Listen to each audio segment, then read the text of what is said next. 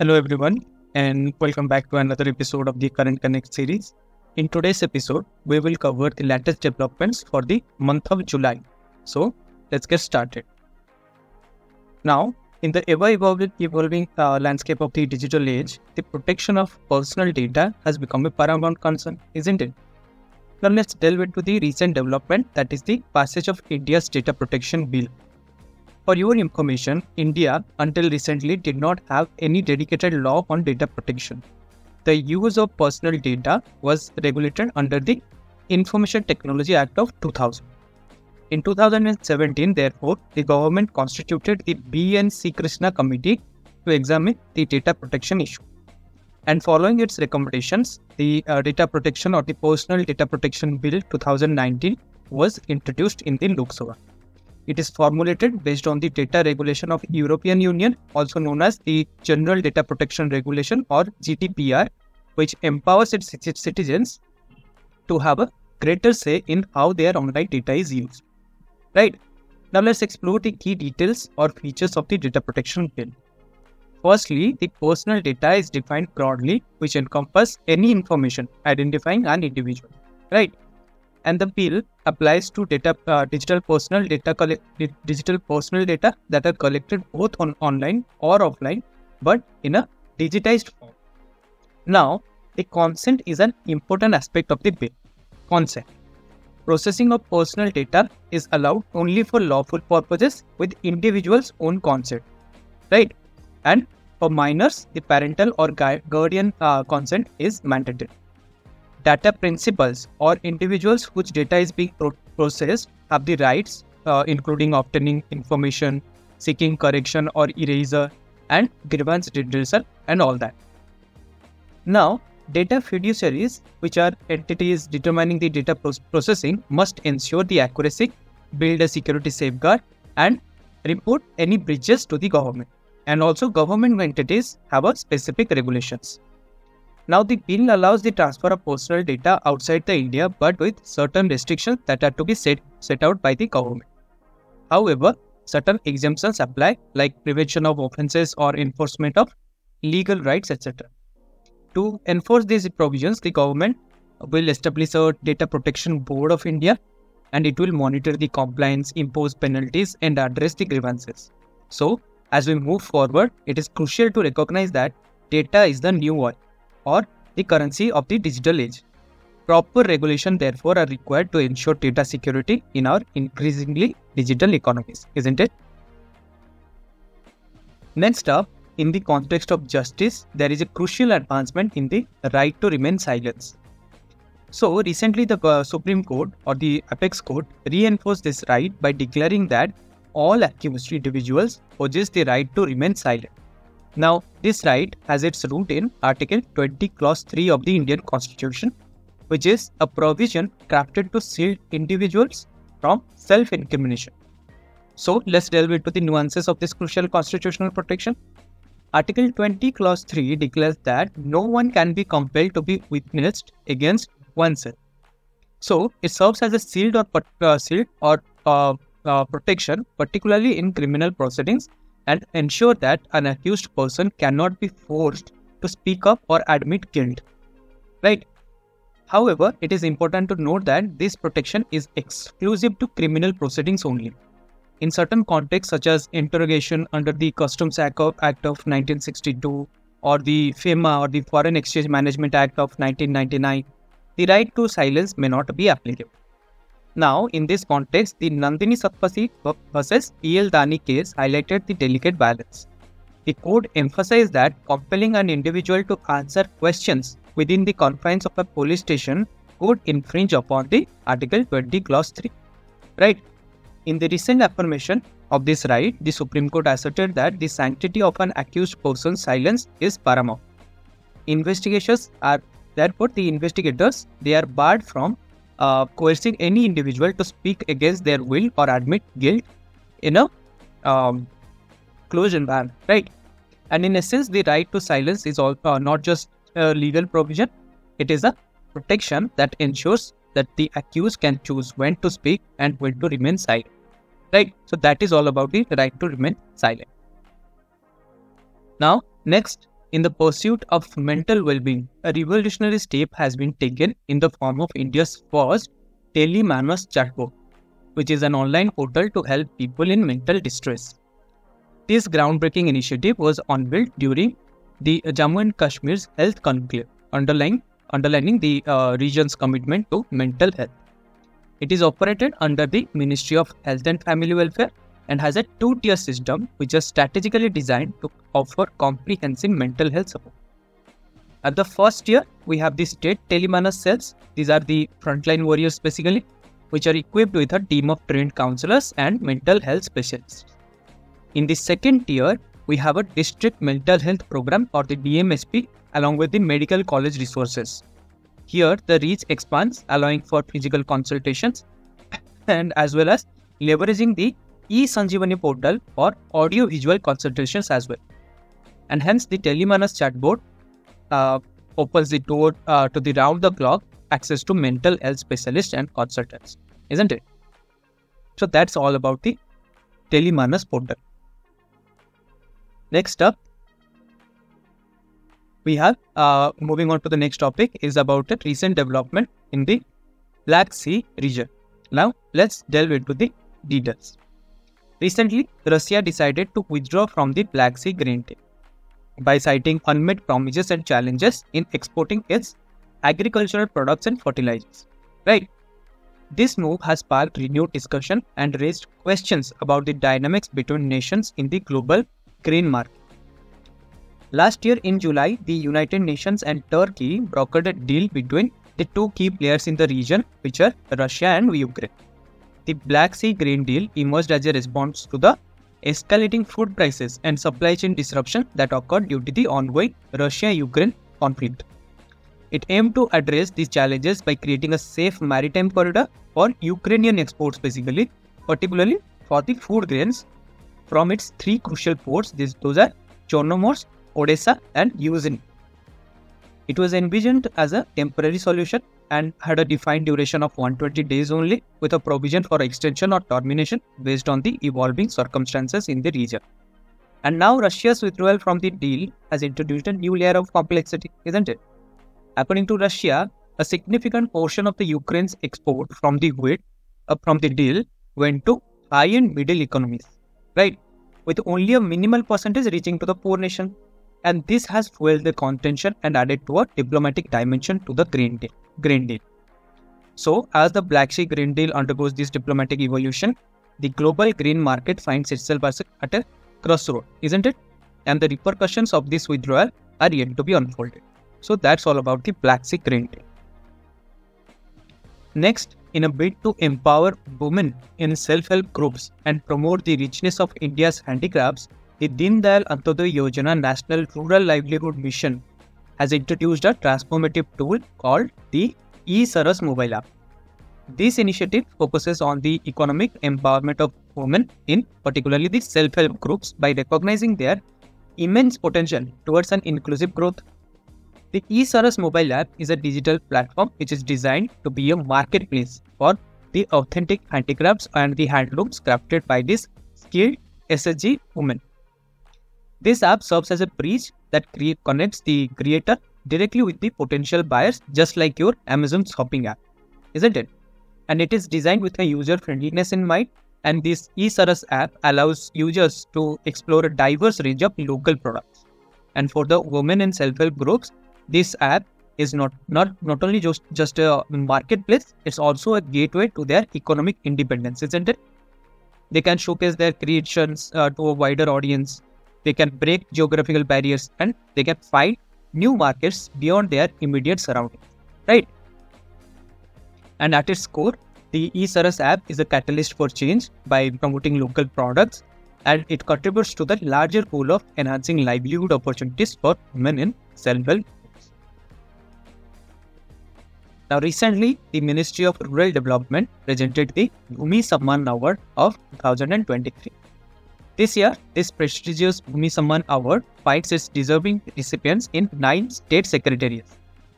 And their dedication and achievements reflected in the success of the Digital India Land Record Modernization Program or DIL RMP, which was launched in 2016. The objective of this program was clear that is to develop a modern, comprehensive, and a transparent land record management system. In its recent extension for five years, from 2021-22 to 2025-26, the program continues to forge a path towards a more efficient and accountable governance of land records. Now, why does this modernization matter? It's not just about digital records, it's about reducing the interface between citizens and government functionaries. It's about transparency, clear land titles that facilitates the capital flow, and also a significant reduction in land related disputes. Right?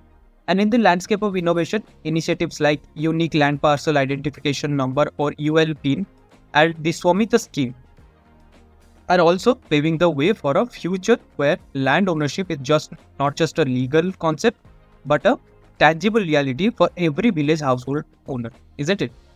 So that's all about the Bhumi Samman Award. Next up, recently the G- GST network or the GSTN has added a powerful tool that is the geocoding functionality into its network. Now imagine it is a digital, imagine it as a digital map which can meticulously convert the location descriptions into precise geographic coordinates across every state and union territories of our vast nation. Now geocoding ensures that the uh, address details in the GSTN or the GST network records are not just accurate but also easily verifiable. Right? And it's a move towards a more transparent and efficient tax system. But the GSTN is not merely a guardian of tax record for your information, it, it has now entered the realm of finance, financial crime prevention as well. So the government has included the GSTN under the Prevention of Money Laundering Act. This strategic move allows this uh, sharing of critical information between GST network and the enforcement director or the ED enforcement directorate and on other investigative agencies to combat any financial offences as well. And the recent amendment to the 2006 notification is actually a game changer. What what it does is it strengthens the provisions under the section 66 of the Prevention of Money Laundering Act, which provide tax authorities with enhanced tools to unveil the cases of GST fraud. And this also reinforces the government's commitment to a transparent, accountable, and fraud resistant economic system, isn't it?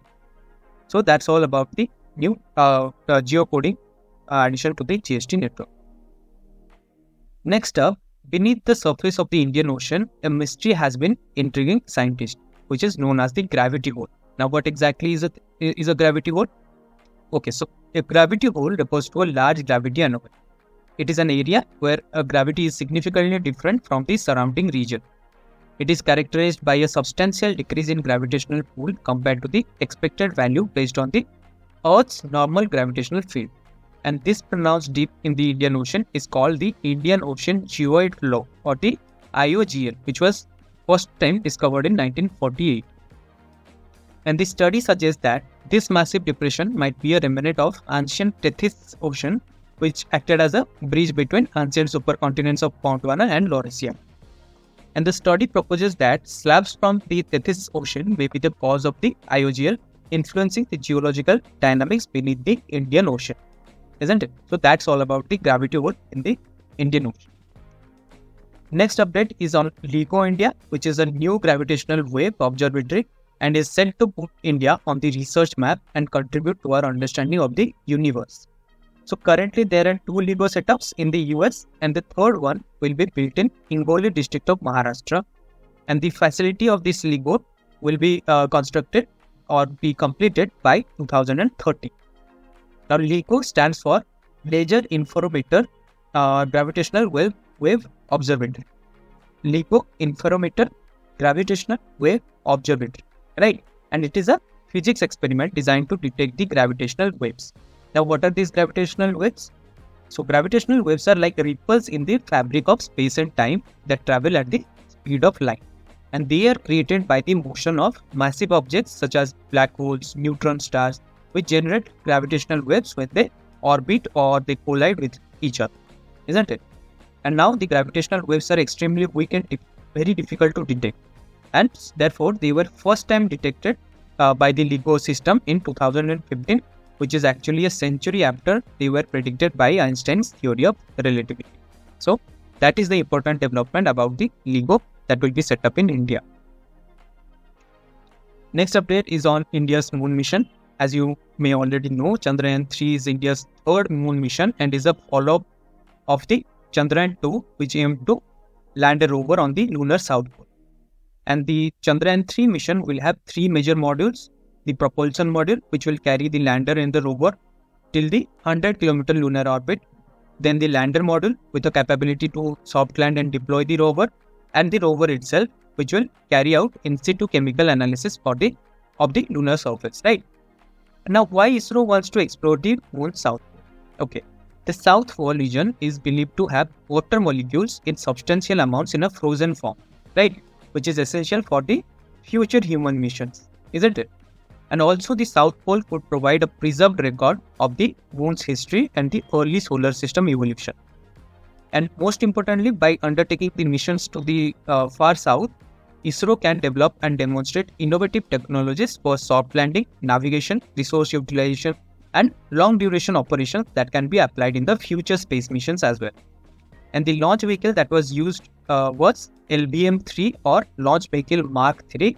It was previously known as the GSLV Mark 3. It is a three stage launch vehicle consisting of two solid propellants on its sides and a core stage comprising of liquid stage and a cryogenic stage. And the vehicle is dubbed as one of the heaviest for its ability to carry satellites up to 8000 of 8000 kg right so that's all about the chandrayaan 3 mission next the national tiger conservation authority or the ntca has just unveiled the status of tiger report for the year 2022 let's dive into the key observation from this report so across the 53 tiger reserves, which cover only 2.3% of India's land, we are safeguarding a remarkable 75% of world's wild tiger population. Right? And notably, in central India, the Siwaliks and the Gangetic Plains, the tiger numbers are on the rise. The survey used advanced tools like M-STrIPES and camera traps for an intensive protection and accurate ecological status ass- assessment of the tigers. And global positioning system and remote sensing actually played a crucial role capturing various datasets of our tiger reserves right? And also in a significant move the government has merged the project tiger and the project elephant into a single entity named project tiger and elephant division and this merger aims to streamline the funding and enhance the coordination for these crucial conservation projects. So now the project tiger and elephant are under the same canopy under the ministry of uh, environment and uh, forest conservation. Right? Next in the pursuit of sustainable future uh, Niti Aayog introduced uh, um, the Indian Climate Energy Dashboard or ICED version 3.0. It is an one stop digital platform that serves as a window into the heart of India's energy landscape. It is designed with the user in the mind, right? And ICED 3.0 is more than a dashboard, it is an analytical engine actually. Users can access nearly real time data, which can uh, which include you know, exploring various datasets of energy, climate, and economic datasets as well. So, researchers, policymakers, and enthusiasts can navigate the complexities of India's energy and climate sectors. They can also identify key challenges along the way, isn't it? And we can say ICED 3.0 is a watchtower of India's clean energy transition. It monitors the pulse of progress while providing a real time status check on the journey towards sustainability, isn't it? So that's all about the ICED version 3.0. Now, uh, two uh, important geological updates. First one is a geological marvel in Maharashtra's Satara district, that is the Khas Plateau, which is often referred to as the Valley of Flowers. It falls in the biosphere reserve of the Western Ghats. Uh, its name is derived from the Khas tree or the Khasa tree, uh, which is a uh, member of the Rudraksha family, right? And the plateau is made up of igneous rocks, and in recognition of its ecological richness, the, Cla- the Khas uh, Plateau actually finds its place in the prestigious UNESCO World Natural Heritage Site list under the Western Ghats, right? And then the next topic is on ureilite a study proposes a Silesian collision giving birth to the Dhala crater in Madhya Pradesh, which dates back to 2500 to 1700 million years ago. So, if you don't know, then the Dhala crater is Asia's largest and the world's seventh largest impact crater. And in India itself, if you know, there are three impact major impact crater or the meteorite impact craters. The other two are Ramgarh in Rajasthan and the Lonar in Maharashtra. And these ureilites are a rare class of primitive meteorites that constitute a tiny fraction of meteorites on the Earth. And they consist of silicate rock, mostly olivine and pyroxene, along with less than 10% carbon in the form of diamond or graphite, along with sulfides, metal sulfides, and a few fine grained silicates. Right? So, that brings us to the end of this episode of the Current Connect. We hope this episode has provided you with valuable insights and knowledge about these crucial matters. Stay tuned for more updates in our next episode, where we will keep you informed about the latest developments in the diverse fields. Thank you for joining us, and until the next time, stay curious and keep exploring the world around you.